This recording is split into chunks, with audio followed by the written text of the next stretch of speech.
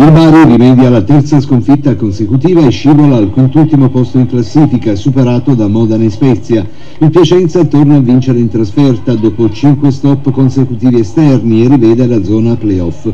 La squadra emiliana nel primo quarto d'ora è stata al centro della scena. Il Bari, che ha ripresentato i recuperati Santorugo e Carros nella fase iniziale dell'incontro, è stato salvato dal solito Gilet che ha neutralizzato una prepotente conclusione di Olivi. Ancora una prodezza del portiere belga. Il Bari è riuscito a superare la metà campo avversaria ed a rendersi pericoloso dopo la mezz'ora, quando sul lancio di Carrus Santorugo ha avuto un incontro ravvicinato con Coppola, ma il portiere ha respinto in angolo. Con la limitazione di Carlos il Bari ha mostrato qualcosa in più, il fantasista ha cercato la conclusione dalla distanza senza fortuna.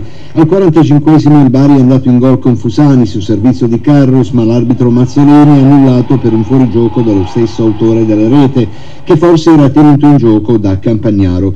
Finisce il tempo ed il Bari si attarda nelle proteste alla ripresa, è iniziata con un fallo di Lazzari su Carrus, Lazzari era già stato ammonito e il direttore di gara lo ha graziato.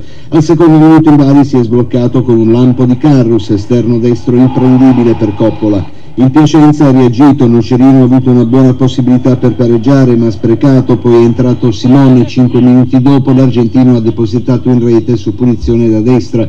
Il Bari ha cercato il successo, Rajcic è stato il più attivo in zona tiro, ha insidiato in un paio di occasioni Coppola che si è salvato anche con l'aiuto del palo, ma al 44esimo è giunto il gol decisivo di Degano, anche lui è entrato a partita in corso, una rete che ha galvanizzato il Piacenza e ha spinto il Bari sempre più giù.